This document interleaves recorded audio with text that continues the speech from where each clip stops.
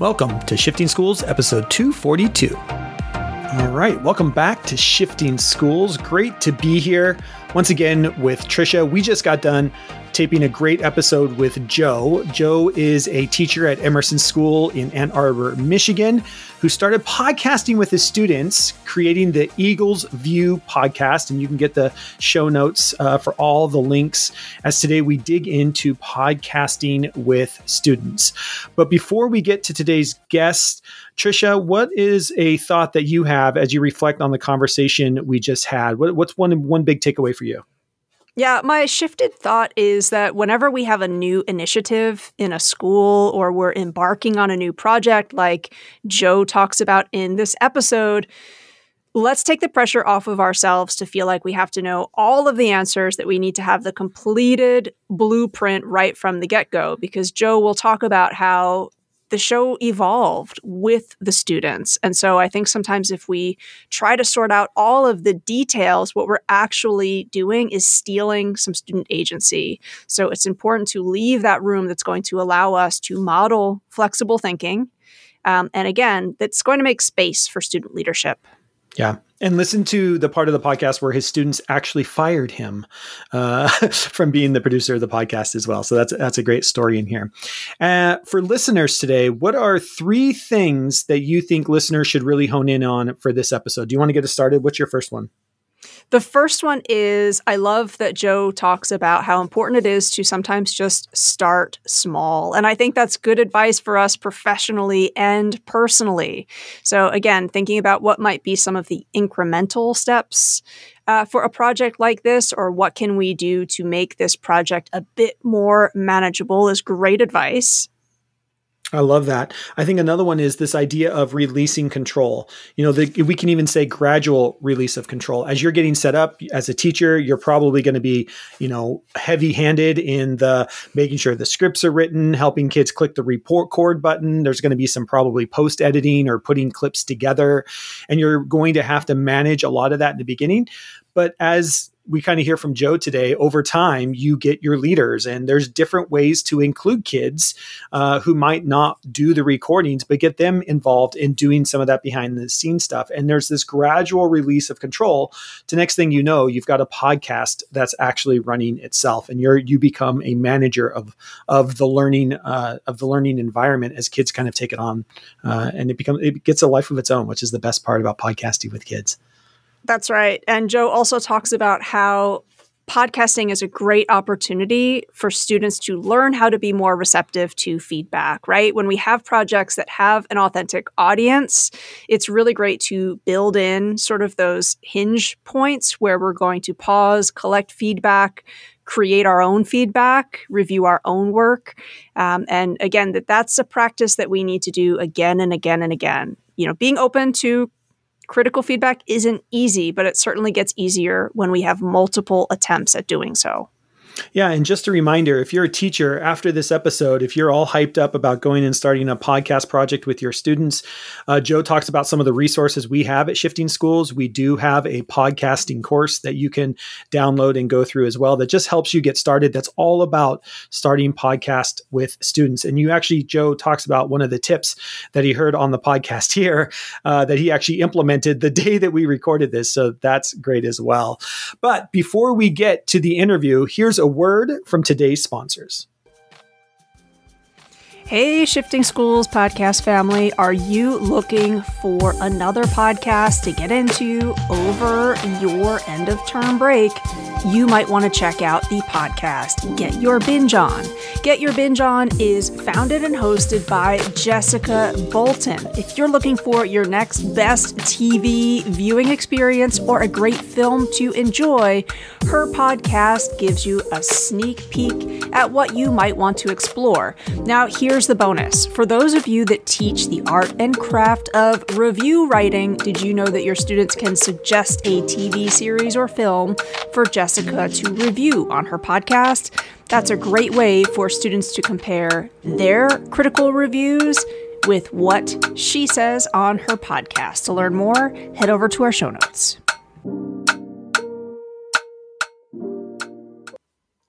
All right, we're excited for you to hear from Joe, the teacher behind the student produced podcast, the Eagle View podcast. This is a great one that hopefully will motivate you to go out and start podcasting with your students. And with that, on with the show. All right, welcome back to another Shifting Schools podcast. We're excited to uh, go all the way to Michigan which you know is great because it's kind of halfway between Tricia in Ontario and me here in Seattle.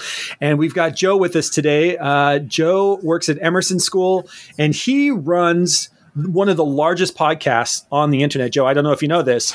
But Eagles what? View podcast is one of the largest. Well, okay, it may not be the largest, but it's a great student produced podcast, and that's what we're going to be talking about today. Is student produced podcast with Joe, uh, who runs and oversees the Eagles View podcast. So, Joe, welcome to Shifting Schools. Uh, tell us a little bit about uh, how did this project get started? And by the way, congratulations on season two of the Eagles View. Thank podcast. you very much yeah, it just dropped on uh, today, which is the what the fifth, fifth of October. It's, yeah, we're, we're, already in October. The days are all just blending together right yeah, now. So true, isn't it? Yeah, and for those of you who may not be from Michigan, uh, I'm currently in Ann Arbor, which is right here. We use our handy dandy map in Michigan to show you where we're at. And uh, Eagles View started from. I could do an old joke going like it all started in a 5,000 watt uh, radio station in Fresno, California for the five people who get that joke. Mary Tyler Moore reference. but um, it started at my wife, Jessica, and I would always go to Michigan State's uh, technology conference. It was like every year, it was a free conference for teachers, an all day conference to show teachers to use technology as a tool, not as a crutch. So it's like you know use technology for the students to like move forward into uh, being lifelong learners. So it was a great conference that they stopped doing uh, during pandemic. They haven't brought it back yet. Right. I hope they do. Yeah.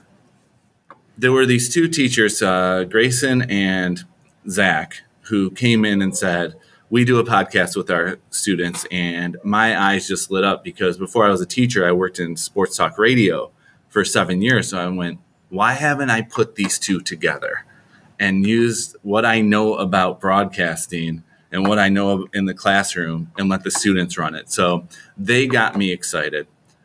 I looked into it, started a podcast at the school I was at prior to Emerson, and I made some mistakes along the way with the students. Uh, I didn't start with um, the big thing would be having a set day and time where it drops each week if you're starting a podcast, that is like number one rule is it has to be a set schedule.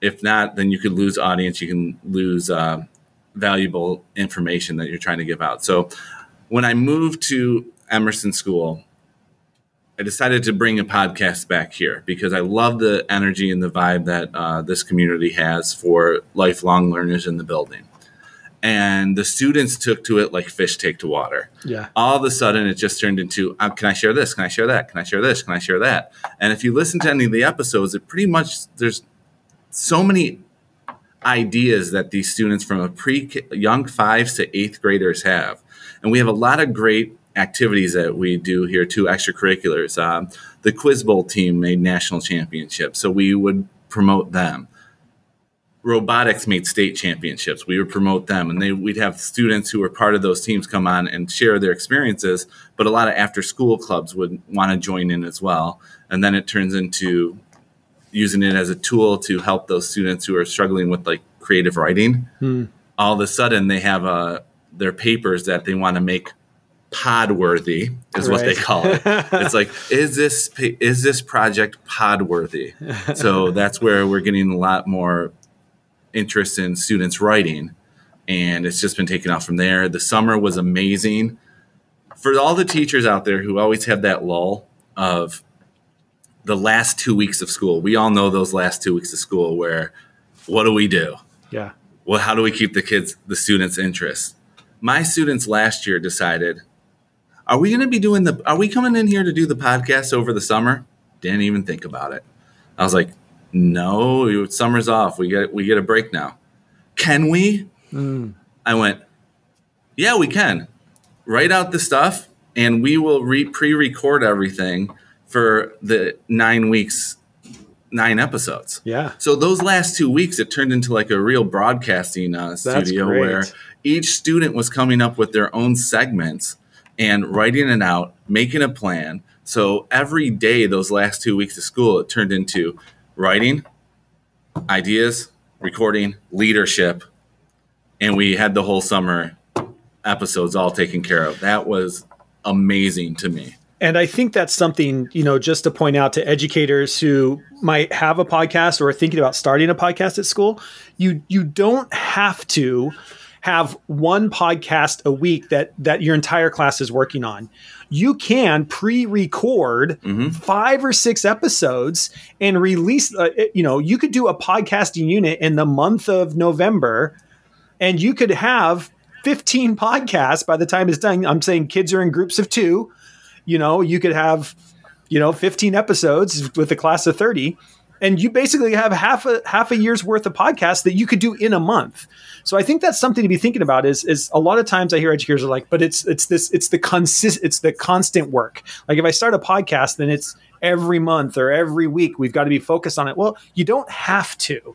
There's other ways that you can structure it. There maybe you do it once every three months you know and it's a review of our learning or pick your best pod worthy creative writing piece that you're going and we're going to record in the month of february for the next three months so I think that's a really good thing for you that you kind of stumbled on because the kids got there. You know, the kids were saying, "Are we going to do this over the summer?" But I think you learned that, hey, well, I don't have to be on this hard week deadline. I can give myself some space. And here's a little tip: that's what real podcasters do. Mm-hmm. We're recording this in October, but it's probably not going to come out until I think Tricia December. This one is slated to come out. And so we do the exact same thing because you've got so much stuff going on.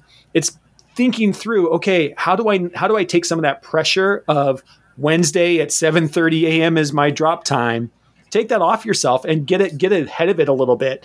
You free up your own time, you free up the time for kids, you relieve some of that stress, and you're still going to be dropping episodes. I mean, you do have to get ahead of it, but once you do, it's a it's a really good way to to just give yourself and your kids some more flexibility in the timing that they have to create a podcast. Yeah, that's right, Jeff. And, you know, the industry itself, the professional podcasting industry, is talking a lot about mini series. So it's not necessarily that it has to be year round, but, you know, if you're just dipping your foot in the water, could it be set out to create a mini series to start if you're unsure? Maybe it's just five episodes. And also, an episode doesn't have to be an hour, right? A 15 minute podcast episode is great. Joe, with the second season out, I'm really curious to hear what the response has been from your school community because you've got so many different types of audiences who I am imagining engage with this, right? You've got your parents and caretakers, you have the other students who definitely want to hear their peers, you also have your colleagues. You maybe have the school board. You might have prospective families who are coming in and are going to your district. Um, what's that response been like for you? It's been very positive. Um, fam- the thing is, we have the students, colleagues, uh, administration, the community in large, but a lot of these students come, like families, come from all over the world too. So we also have listeners who like they get to hear their grandkids when they're in India or when they're in Argentina, and they can That's hear awesome. what their grandkids are doing inside school, and they listen every week now too. And there, it's been amazing uh, the response I got from, and I, I'm saying I, I, I want to get rid of that. I want to say that it's amazing the response that the podcast has uh, received because it's not just one person doing this. There's a lot of teachers who have jumped on board, and one in particular I want to mention is a fourth grade teacher, Jessica Taranto. She received an email from a and I got permission from her to do this. Uh, Jessica is my wife; she works here as well. Um, she she received an email from a parent who their son was on the first the season two premiere in October, and said, "William is now giving me his writing and asking me to look it over." And this is a fourth grader. Before it would be I would just do the bare minimum or whatever, just what the teacher asked, and then just be done with it. Two or three sentences done. Now it's like full like stories because in his words again, he's trying to make it pod worthy. Right. And he wants to like, am I using enough uh, detail? Am I because I want to be able to put it on the next episode.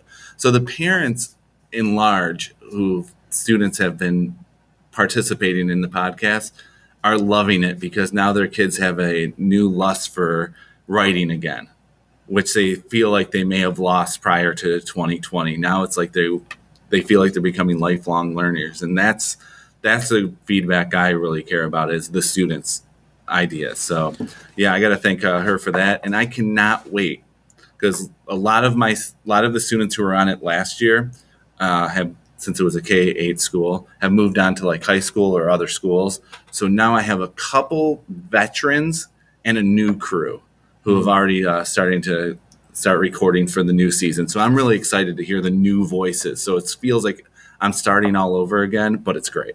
Well, and I love that you're building leadership, right? And all of a sudden you've got this leadership of, you know, your kids who've gone through it now for a season are being able to come back and say, well, you know, we can help you make your script pod worthy. And here's what it yes. takes. And, you know, we talk a lot, we talk this, we talk about this a lot in education. We talk about this a lot on the podcast, but there is something that happens for everyone when you have an authentic audience and when you are a student, when I was podcasting with my kids back in 2009 in Shanghai, there is something with for everybody, but there is something when you go to iTunes or Spotify and you get to see your recorded podcast next to your favorite artist. Like you're in the same spot like that. It doesn't get any more authentic than seeing that. And I just, you know, it's, I don't know. I think that excuse me. I think there's so much motivation there that we we just we don't see. And, and understanding that when you do podcasts with students and you have them in iTunes and you have them on Spotify, there's real authenticity there and there's motivation to make your writing pod worthy. You know, it, it just is. It is for all of us. Uh, I mean, it still shocks me that I'm in Spotify and I've been doing this for six years, you know, and I'm just like, oh my gosh, this is the same place I go to listen to music. And one click away is me. You know, you just put yourself in a, in a different level and kids see that as well. Uh, we're really interested because I mean, there's so many things that you cover when you're creating a podcast with students, and you know, this year a lot of schools are focused in on a social emotional learning (SEL), this idea of soft skills what have been some of the soft skills so, some of the soft skills that you think your students have learned and picked up along the way? And what connections do you think that adds to their for being creative their idea of being empathetic towards others? Can you just talk about what what is the skill set that you're seeing kids you know actually bring to the forefront in creating this podcast as well? Well, here at Emerson, our core values are a lot of soft skills in general. We practice every day, not just the students, but everyone inside the building curiosity, creativity, empathy, resilience, and integrity. So they see it from the teachers. So they, you, you, this us as educators, we show them all those core values. So they like to do it as well. And when it comes to like empathy, one of my, one of the most popular episodes last year was the kindness challenge. Mm. This was just like the student's idea if you listen to it. And if you're not, uh, if you haven't, please go to the Eagles View and check out season one, uh, the Kindness Challenge, one of the popular ones. These three students uh, came together and wanted to give ideas to people out there. If you're having a bad day, just choose kindness and what you can do to help other people out by just being kind and what it will do to give you a better attitude. So I'm like, I didn't, okay, let's record it. And all of a sudden, it started rolling and that was that one really got the podcast started where more people wanted to join in. And it all started with kindness. So the students ideas of doing that that skill's amazing. Yeah. Public speaking obviously is a big thing when it comes to uh, creating a podcast because we have a lot of students in there especially at younger ages who are very shy.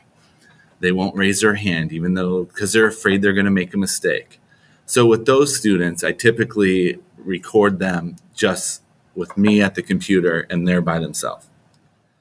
So if they make a mistake, it's okay because I always just tell them like you know if you make a mistake, don't start at the beginning of your uh, paper because you can just pause for three seconds, take a breath, and then start at the beginning of that sentence. Because once it comes out, it's going to sound like you didn't make any mistakes whatsoever. and then I tell them like you know musical artists do that too because they that's not the real singing voice that they're putting out out out there. So public speaking, the shy the shy students really start to find their voice, and then all of a sudden when other students inside or people in the community hear them, they're no longer shy because people are coming up to them asking their opinions. Like, oh, I didn't know you spoke that well. So all of a sudden they're starting to become taking more of a leadership role as well. Um, we've you've already Jeff, you already mentioned earlier with the leadership skills of having the old crew helping out the new crew.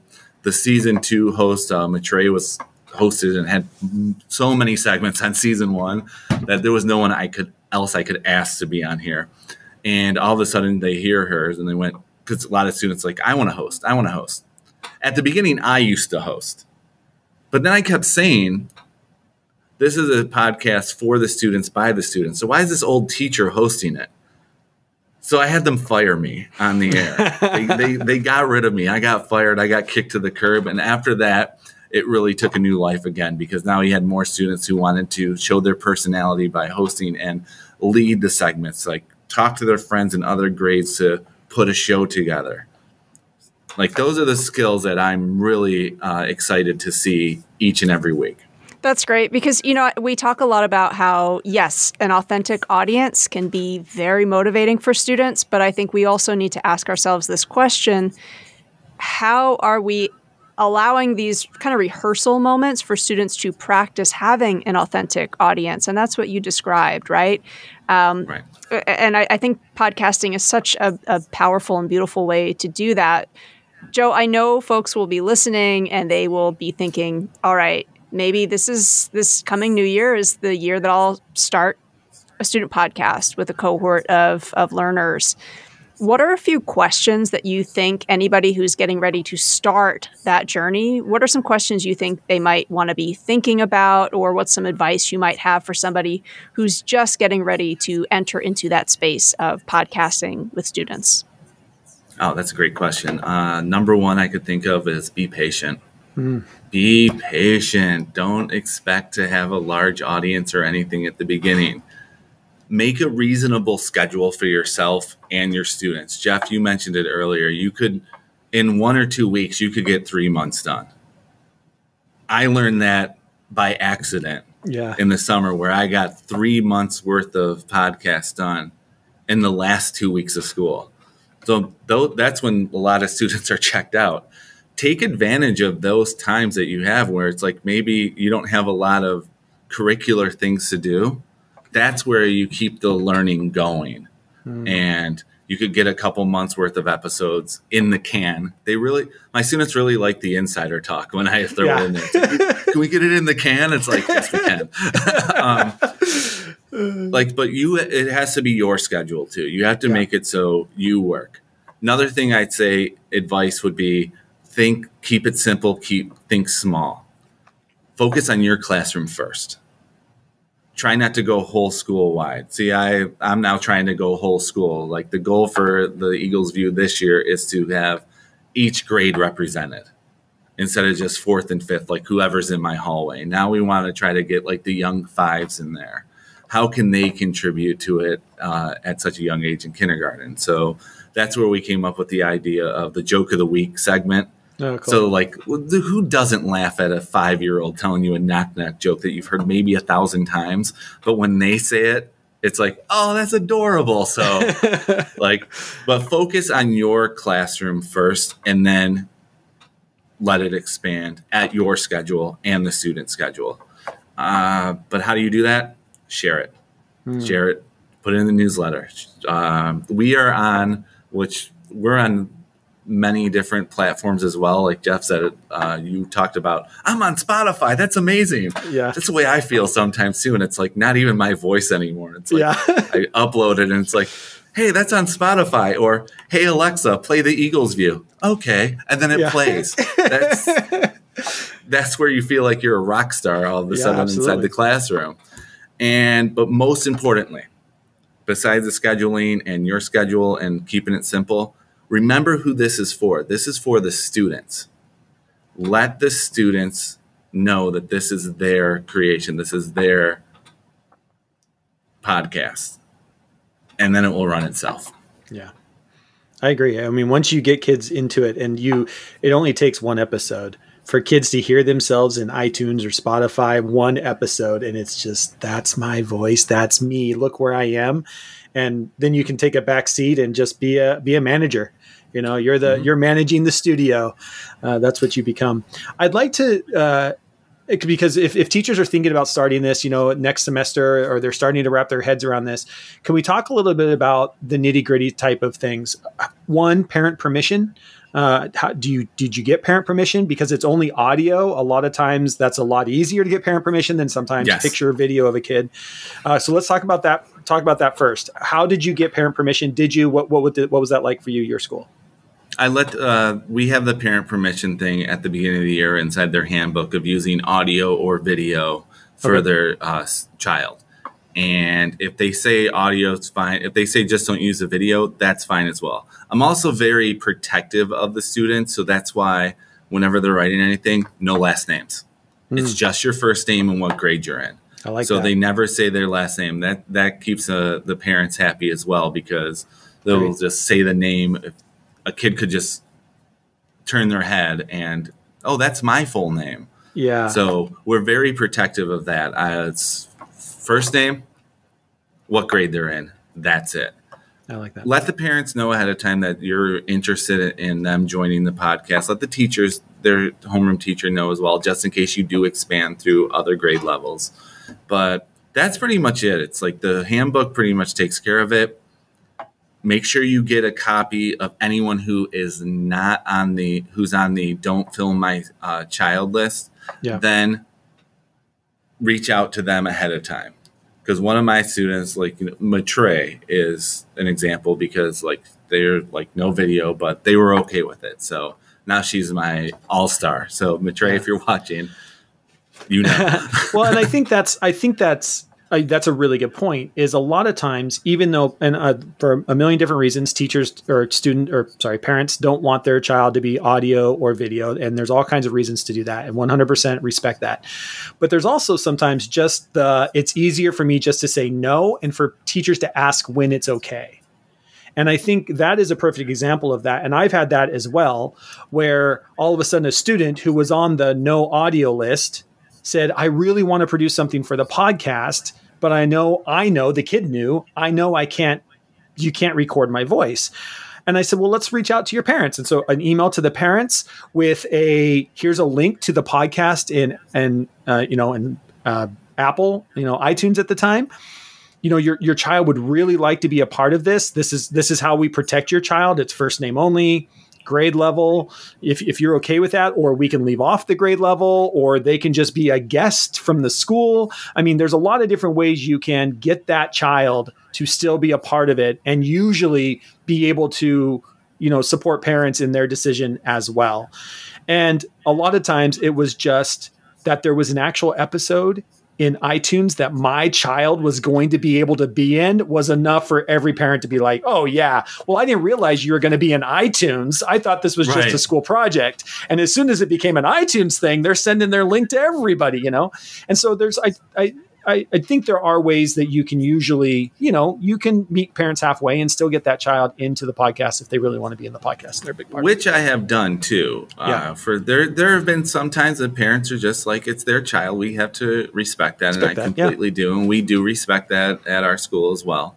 So the other ways you can do it too, if you are at that point where you have a student who has great writing, great things that they want to share, but they just can't get that permission you could always have another student, one of their friends, read it for them and say, this uh, my friend you know jimmy great idea. has a great i've done that before. Like so because it's either a parent would say they don't feel comfortable with it even if it is on spotify or whatever. Sure. you got you have to respect that. It's, right it's absolutely. Just, it's common courtesy too. But there's also those students who are still shy around and like they have great things but they're just afraid to they don't like their voice. They're going through, you know, yeah, things. So they ask, "Can a friend record it for me?" I'm like, "Absolutely," and they'll give them credit for it. And then they hear, "That's what I wrote." And, yeah. Jim, and Jimmy read it for me, and he yeah. he messed up this word, but it's okay because he still helped me out. So yeah, it gets the community together, even for if you have those roadblocks, there's ways around it where they can still share their work because we all know in podcasting inside the classroom, it's no longer four walls. They're at a podium. They're like, you know, reading their play like it's from Despicable Me 2 and Agnes's Mother's Day home.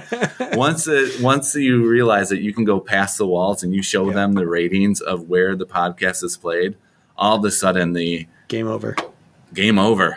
Or no, game on. Yeah. That's right. So yeah, true. interestingly, and I'm not sure where um, the editing happens for your show, but with older students, we had that same issue where some students, um, you know, did not want their voice to be in the show. And so GarageBand actually lets you add different effects. And that was a mm-hmm. workaround mm-hmm. that we did where, I mean, they had fun where it was like even the make it sound like a phone call distorts. If you put it up strongly enough, that effect really changes the voice. You can make it sound like a robot. Um, so there's lots of different ways to get around that. And then I also think, you know, of course, there's lots of different roles that support a student podcast. So I don't know, Joe, if at this stage any of your students are doing like marketing for the show or, you know, creating posts that your school's social media can put out. Um, but I, I, think, again, uh, producing a podcast is a hugely collaborative yeah. venture. So there's lots of different ways for students who might not have that permission to get involved. Um, yes, we do actually have some uh, students that put up uh, flyers and went on uh, social media and was trying to get the word out as well. So oh, great. Cool. That's that's super cool, and and what a great uh, you know again authentic audience for them as well, right? They're talking about a real product. They're talking about a real experience that they are marketing, and it supports their classmates. Joe, for our listeners who are thinking, I would love to support the Eagles view, we do know that, you know, ratings and reviews, especially in Apple Podcasts, they can do a lot for small independent shows. So uh, you already mentioned the kindness episode. If any of our listeners were going to go check out another episode or uh, leave you a review, where where would you direct them to go? And what what is some of the feedback you might want them to focus on giving inside of one of those reviews? Uh, I, feedback just needs to be real uh, feedback. It has to be. Uh, we talked about this today because Jeff, I took some of your advice from uh, podcasting, and Tricia, where you both said pause in between segments and let the students discuss it. So we did it mm-hmm. today, and some of the feedback that I got, which I'm looking over there, was uh, have someone say their name a little bit louder or mm. their segment was over two minutes so can we like maybe make it a little bit shorter? The sound effect was too loud. Like like that's the type of feedback that we're looking for constructive criticism where we can improve instead of bring down. Why bring down when you can just go bring up? So where they can find the podcast? You can go to emerson-school.org that's our homepage for our school in ann arbor michigan right here. My handy dandy map always always with me, and it's on the homepage there. Take you to the link. We pretty much broadcast. Our homepage is on anchor.fm slash Emerson dash school, and you can find there. But we it also is available on Apple Podcast. It's available on iHeartRadio. It's available on Spotify, which is part of Anchor, so that's an easy one. It's available on Google Podcast and uh, Am- yeah, I already said earlier too. Amazon uh, Music, so you can Great. if you follow, subscribe. That's the big thing is not just listening to it once, but hitting that follow key so you can get each updated episode on your phone, on your music device, on your car. It'll say new episode of the Eagles View, and it will be the student title that they put on there. Each episode, we try to limit it to 10 minutes or less because the students told me anything longer than that, they check out. Yeah. And since it's their since it's their podcast, I try to keep it at 10 minutes. There's one episode in particular that's over 10 minutes I would say listen to. It's called was the first episode of Play What. That was the uh, title of the episode because one of my students who is no longer at the school because they moved to Shanghai to go to the Music Institute. She was a she's a child prodigy, uh, classic uh, pianist, and wow do you hear her rendition of playing the piano? Because she just came up to me one day and went, Can I share my piano playing and put it on the podcast? And I'm thinking, when you're thinking of fifth grader coming up to you, yeah. thinking, Twinkle, Twinkle, Little Star or the Star Wars theme or whatever. And she sent me the video. I was blown away by by it. It's, I, I can't even explain it. So I would check out Play What as well. I think that was in February of 2022. It was after the Kindness Challenge. Those are the top two episodes for me, and anything else that's happening in season two right now. I don't even think I've made the best episode yet. That's right. You definitely you definitely haven't. So call to action for our listeners. If you teach primary school and you're having conversations about constructive criticism, conversations about feedback that drives learning forward, perhaps listen to one of those episodes of The Eagles View. Draft some feedback for the show and authentically leave it as a review, so you can connect your students with Joe's. Um, and and again, I, I think that's a great exercise in thinking about what's I love that phrase, Joe. The the feedback that's going to lift us up, right? So mm-hmm. uh, there's a little bit of a call to action if you'd like to connect with the podcasters from the Eagles View. Yeah, and I think it's, uh, and again, Joe. I mean, first of all, thank you for taking our advice and having kids go back and listen to their own podcast, pause and get feedback. That's huge. And if you are a teacher I mean, bringing this full circle, if you're a teacher that's getting ready to launch a podcast with your kids and you don't know where to start, start by having your students go and listen to the Eagles View, listen through it all the way through. It's only a 10 minute episode. Then go back, listen through it in segments, and start giving feedback. The music was a little too loud here. I didn't hear the kid's name here. Great, because we're going to produce our own podcast and we need to make sure the music isn't too loud here. A kid says, it's a great way to get, get your own podcast started is by going and listening to other student produced podcasts, taking down some feedback. Give that feedback back to them. But also, you're starting to think now when I record, I need to make sure my voice is right. I need to make sure our audio is not too loud, which is always the hardest thing with kids because they want to blare the music in the background and tell them it's got to be just down here. You know, it's, it's tough. Um, so, so that's uh, so great feedback. So that whole loop of if you're getting ready to start, leave feedback for them. But it's also a great way to start your own podcast with kids is going and listening to other podcasts as well created by students. So uh, that's great. And seeing that we're on the podcast train, Tricia, do you want to uh, throw out your podcast? If people want to listen to Tricia and her amazing podcast, Tricia, where can people find your podcast? Oh, Jeff, that's super kind. Uh, yeah, if you head over to allyed.org, that's A L L Y.org, you can check out the Be a Better Ally podcast. That comes out every Thursday morning. Thanks, Jeff. Um, and yeah. Jeff, you know, if folks want to follow you. You've got a brand new channel on TikTok. I don't know if you want to let folks know about that. Well, I mean, there's no dancing yet. Not guaranteed yet. there won't be in yet. the future, but yet, yet being the keyword, no dancing the yet. But yeah, The power you, of yet. Yeah, the power of yet. But uh, you can follow me over on TikTok. We're releasing all kinds of, of things around. Uh, a lot of it's behind the scenes uh, video footage of the podcast itself. You can see there.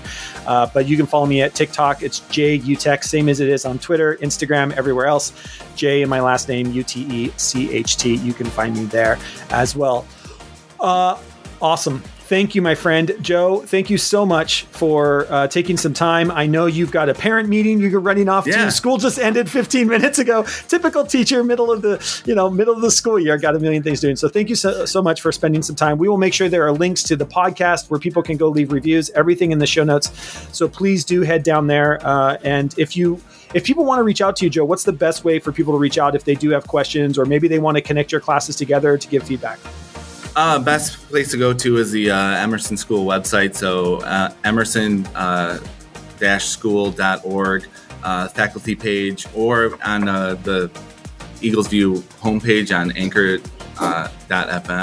There's an actual leaf feedback page as well, and that is a recorded audio that you could send that we could use for future episodes as well. I haven't oh. haven't had a lot of future, haven't had a lot of feedback on that one because they don't like the sound of their voice or whatever. But yeah, uh, best way is to go to the Emerson School website. So emerson-school.org. Faculty and staff, Joe Taranto. My email address is there. It would be J T A R A N T O at emerson-school.org.